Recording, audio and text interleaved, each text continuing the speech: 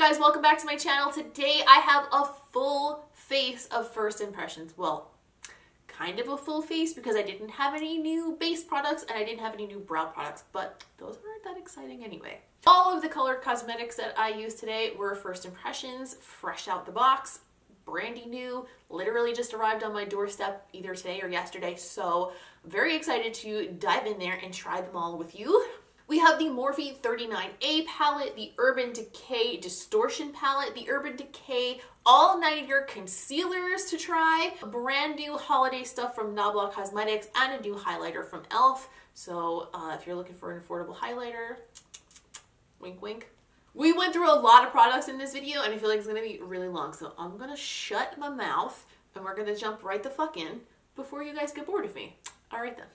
Okay, first on today's first impression agenda, we have the Morphe 39A palette. This is what it looks like on the inside. Uh, we have an insert with the names of the colors over it. I usually personally prefer when the names are written on the package, but um, I just appreciate the names being on there displayed in one way or another, either way. I'm gonna start by using this color Bear, which is a neutral as a transition on a Sigma E40 blending brush. And to start this off, as I start all of my first impressions, um, I prep my eyes the way I always prep my eyes. And I try to always prep my eyes the same way when I'm testing new shadows because if you don't, it's kind of not fair to the shadows. So what I usually do is I mix a little bit of the Urban Decay Eden Primer with some Tarte Shape Tape and I set it with my setting powder and that's pretty much the way I prep my eyes all the time, regardless of what I'm going to be using. Next I'm going to grab a little bit of a darker neutral. This is called Sculpt. On a slightly smaller brush, this is an Morphe M433. And I'm going to use that just to define the crease a little bit. That's a really, really nice brown. Why am I holding this like a painter, like I'm Bob Ross? I'm still holding it like that. I don't know why because this color is just calling my name. As soon as I opened this palette, I was like, yep, I'm using that one. I'm going to use this deep cranberry pink color called Create. And on a Morphe E18 pencil brush, I'm gonna pack that into the inner corner. And I know right now you're probably like, wow, you're nuts. A little, yes. I've actually done this technique on my channel before and I really like the way it comes out. Uh, I'm going to do a very bright pop of color on the inner corner, a mostly nude lid, and then wing it out and then smoke out the bottom of the wing accordingly. Um, I just find that it's a more fun, interesting way to use color sometimes, so we're gonna go for it. I'm gonna pack that color onto my inner corner area first, just blending it out slightly as I go.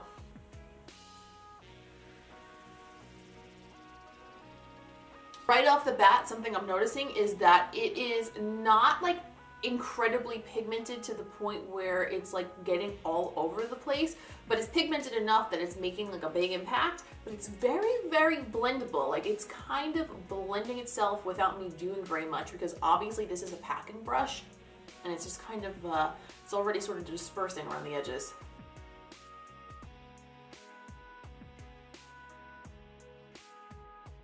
Next, I'm gonna jump into another new product. This is the Urban Decay Distortion Eyeshadow Palette. The whole concept of this palette is that these bottom two rows are regular shadows and the top row here is shadow transformers. So anything that you put these shadows over, it should transform them into like a different, more like multi-dimensional shadowy color. And I don't know why I said shadowy, obviously. Just a multi-dimensional, like different kind of a color and texture. I'm gonna pack one of these colors over a little bit of the inner corner of that pink just to highlight the inner corner a bit. And I'm packing that on with a Sigma E30 pencil brush.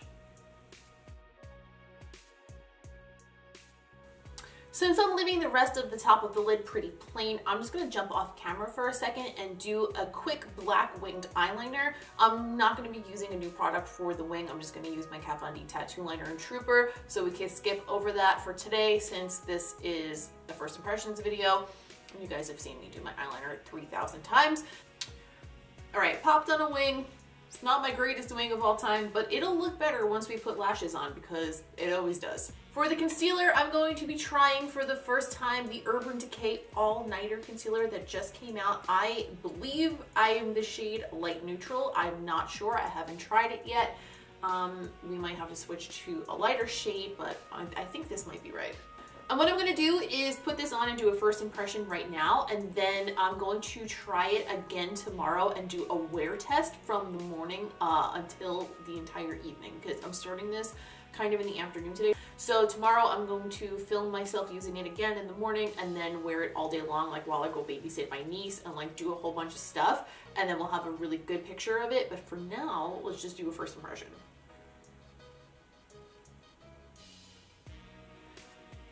Okay, that is the right color for my skin, but I don't think it's light enough to highlight underneath my eyes. So, hold on one sec. I'm gonna mix in a little bit of the shade Fair Neutral to lighten that up, get us to about the shade we need. I hope this doesn't dry onto my face before I get a chance to blend it. Hurry, Nicole.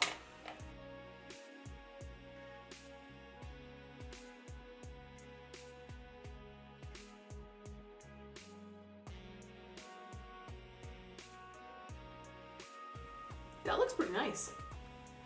The coverage is like, would say on a scale of one to shape tape, this is a nine and a half at least. But it's a lot lighter than shape tape, like a lot lighter feeling on my skin. It feels, it's so, it's very, very light. It's super duper light feeling. Obviously, the wear test will be very important in this, uh, but as of right now, I really like the way that applied. I like the way it looks, and I like the way it feels on my skin, and I really like the way it's looking on camera. Like, I feel like my under eyes look very porcelain and flawless uh, from here, and we'll see when I watch the film back because it's always a little bit different.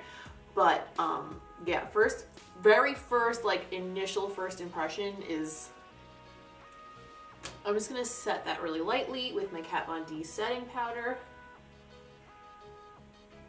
Although it seems like it kind of set itself, it doesn't really seem like it necessarily needed the powder, but just in case, when you're a creasy old bitch like me, you gotta, you gotta always double check it's going to take a little bit more of that same pink color on that same brush. I'm not even dipping back into the palette. More pigmented than I even really initially realized because I really only dipped in twice and I did all of this pink with that. So that's pretty impressive. And I'm just going to draw that underneath. Just blend it back in where I took some of it off. For underneath the eyes, I'm gonna go back into that 39A palette. I'm gonna use the color Bear again, which was the transition color that we used initially. And I'm gonna just drag that underneath the eye and up underneath the wing. Now I'm going to use a more dense pencil brush. This is a Makeup Geek pencil brush. And I'm going to use this deeper plum color, which is called Passion.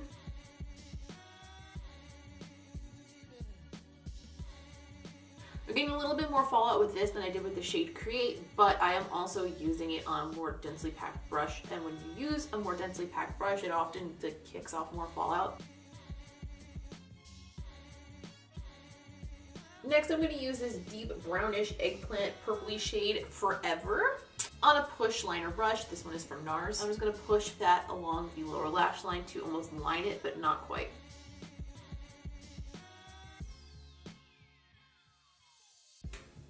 Eyes are pretty much done here. I need to put some lashes and mascara on. And I also need to brighten the waterline. None of those are going to be first impressions though, so I'm going to do them off camera. I'm just gonna use a nude color in the waterline and the Cake Face Kim Tai lashes on my lids. I'm a total dope because I just realized that I wanted to use the new Nabla Dazzle liners in this tutorial too. And now that I have done this, I don't think that I can do that properly. But keep an eye out because I will be probably testing these during the week and I will post about them on Instagram for sure. This is an eyeliner, you guys. Look at this. That looks so bomb and I can't wait to try it and I'm really mad at myself that I didn't. I have a lot of stuff here in front of me and a lot of first impressions to go through and I'm just losing track. I'm just losing track. Next up, I'm going to use the new e.l.f. Highlighting Holographic Duo in the Siren's Call shade. This is kind of the most normal shade of the bunch. The other ones are more like um, like a pink and a blue and stuff. And I'm just uh, not excited about those colors with what I want to do with this look. So I'm going to use this one. That's how it looks on the inside. Wow, that actually looks different than I expected it to be. I thought that this was going to be much more neutral, but it's kind of a peach. I'm going to use the lighter shade of the two, which kind of is like a gold, but it looks like it has a little bit of a greenish tint to it. We're gonna see when we put it on the skin, I suppose. It kind of just comes off like a champagne gold. Pretty though. For the lips, I'm going to use a new Nabla Cosmetics lipstick. This is the Dreamy Metallic Matte Liquid Lipstick in the color Silk Road.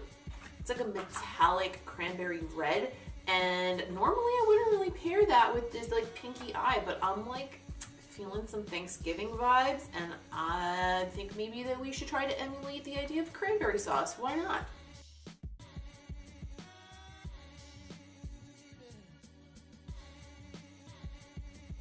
This is actually one of the nicest metallic matte liquid lipsticks that actually dries down and is like a long wearing matte liquid lipstick that I've ever tried, to be honest. Um, as far as application, I don't know how their metallic formula wears yet because I've never worn one of their metallics for a whole day before. I only have one other metallic color and it's like super bright gold. Um, but so far, this is beautiful. Like it kind of has a satin finish. It's not overly metallic, so it doesn't emphasize the lines on my lips that badly. Sometimes when I wear metallic liquid lipsticks, it's like,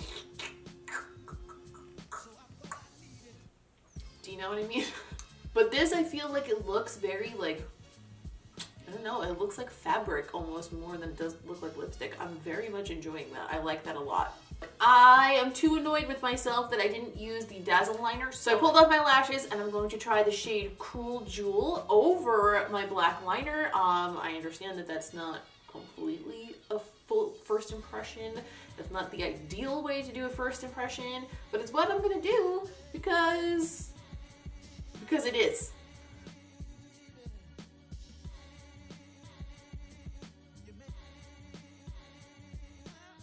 Oh my gosh, I'm so glad I did that. Look at how pretty that is. that is so gorgeous. Oh my goodness. Okay, no regrets, not even one. All right, I'm gonna pop my lashes back off and then we are going to have a little chat about all of these products and what I think. So the Morphe Dare to Create 39A palette. First of all, the packaging on this is so much better than the packaging that they used to use. Um, I much prefer this pressed hard cardboard to the plastic that they were using. I just feel like the plastic feels more cheap. This feels more like a high-end makeup product. The print on it is very chic. Everything looks really great. And I really, really, really like the variety that's in here. Um, I didn't use a ton of the colors, obviously, but the ones I did use were extremely pigmented, but not overly pigmented. Um, there was a little bit of fallout, but nothing crazy. And I think the variety of shades in here is like absolute perfection, especially if you like to get a little bit more creative. And I like that it's laid out kind of in not quite a rainbow pattern, but almost. So like the colors that are similar are grouped together. For me personally, that sort of a setup helps me like wrap my head around the colors that are in there and like what I want to do with them. For other people that might be different, but for me, when it's organized, that helps me. If you're new here, what I like to do when I do a first impressions video is if it's something big like a palette that like really needs multiple uses to form a first impression on it, then I like to do the first impression and then I'll use it a few times and then I'll do another tutorial later with it where I explain like my final thoughts and give like a full review of it. I just think that's a little bit more thorough. It's how I've been doing it lately. I kind of really like that system because I feel like first impressions can be a little bit deceiving sometimes. So first impression is so far, I'm very impressed with this and I'm going to keep using it the rest of the week and I will let you guys know uh, next weekend in another tutorial my final thoughts. Next item is the Urban Decay All Nighter Concealer. So far, I am extremely impressed with this. It is so light but so high coverage at the same time and it hasn't creased at all underneath my eyes. And I have been having issues lately with my under eye concealer creasing. Um, my creases under my eyes have gotten a little bit deeper all of a sudden and it's just oh my god, like the effort that it takes to try to get my under eyes to stay without creasing is just phenomenal. So um, I'm very excited that this has increased yet. I am going to do a 12 hour wear test with this tomorrow. Um, so that should be up a couple of days after this. If all goes as planned, either Sunday or Monday this week. So keep your eyes out for that. The e.l.f. Holographic Highlight Duo in Siren's Call. Um, it's not really holographic or even like color shifty at all. Uh, this is kind of like a gold with a hint of like a green undertone to it and this one is just kind of a coral with a little bit of gold in it. They're very pretty. They look very nice on the skin. It's not a very um, intense highlight, but that's for me, that's actually okay. I like that sometimes. I don't always want to be like beaming out to the sun. It's not really every day for me, you know? Um, so this is something I'll definitely get use out of again. e.l.f. is on the affordable side, but they have been getting more and more expensive. So um, as their prices increase, my harshness on reviews of them will increase. But so far, this is like not amazing or exciting or like I need to go tell the people of the world how awesome this highlighter is. So, but if you're looking for a more subtle highlight that's not super expensive um, and is available at drugstores and stuff like that, these are definitely nice. They're just nothing like, oh my god, incredible. The Nabla Cosmetics Dreamy Metallic Matte in the color Silk Road, stunning, stunning, so pretty. Um, I do have to say that I can feel it on my lips. Uh, not to a degree where it's bothering me and it's not crumbling, but it's definitely on there. Um, their matte formula without the metallic sheen, um, when I put it on, I can wear it for literally the entire day and really never even know it's there. Even like dark shades like black and stuff. So I was expecting to feel nothing on my lips with this. I definitely do feel it there, but it's not gritty and it looks gorgeous. Finish of it is absolutely gorgeous though. The color is beautiful. Uh, this is like the perfect holiday shade. So if you're looking for maybe something to wear to a Christmas party or something, highly, highly recommend looking at this. Um, as far as the way it applied and the way it looks on the lips, it's one of my favorite metallic formulas that I've ever played around with. Um, I can't really vouch for the wear time because I've only used their matte shades before, but uh, usually their lip colors are like super long wearing, so I have high hopes. And last but not least, the Nabla Dazzle Liner in the color Cruel Jewel. I am so glad that I went back and reapplied this over my other liner because the color is absolutely amazing, gorgeous, stunning, unbelievable. Like it looks like red satin but as eyeliner. I'm so impressed with it. I'm so glad that I went back and put it on. Again, I obviously can't speak to the wear time of this. They do not say on them that they're waterproof, but they say that they're long wearing. And when I tested it on the back of my hand, I was able to rub over it with some water and it didn't run off, but eventually it did crumble. So I would imagine that they're probably water resistant, but not waterproof, if that makes sense. So if your eyes water a little bit throughout the day, I don't think this is going to run, but eventually it will break down. Oh, I almost forgot one. The Urban Decay Distortion Palette. Um, I don't really think that I gave this enough of a try to really form an opinion on it yet. But if you like Urban Decay shadow formula, you will probably like the normal shadows that are in here. And the top ones are really fun if you like to layer things over another shadow. I'm going to play with this more throughout the week and form an opinion on it. But the color space that I used over that pink shadow at my inner corner, it performed just as you would expect it to for a shadow that's supposed to go on as a transformer. Um, I like it, but I'm not ready to tell you an opinion on it yet because I didn't use it quite enough. And that's all for today. Thank you guys so much for watching. As always, I really appreciate you being here like more than you even know. And I know that sounds so cheesy, but I really do. Please don't forget to give this video a thumbs up if you enjoyed it because that really helps me out. Also, don't forget to subscribe because that's the best way for you to see the next video where I go over these products again in more depth. Don't forget to follow me on social media. I'm at Ms. Quinnface all across the board. Um, I specifically post the most on Instagram and Twitter, so if you want to come find me over there. I post new looks on Instagram every single day of the week. That'll all be listed here on the screen and also in the description down below. That's all for today. Thank you so much for watching, and I will see you. I will see you because you're going to subscribe because we talked about that already. I'll see you in the next one.